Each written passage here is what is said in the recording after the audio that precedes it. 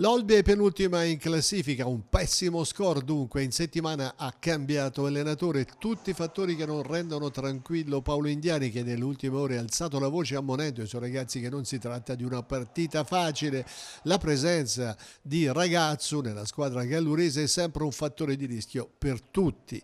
Sì, ma anche se rimaneva l'allenatore precedente poteva anche cambiare, non era detto giocasse sempre della stessa maniera anche l'allenatore precedente.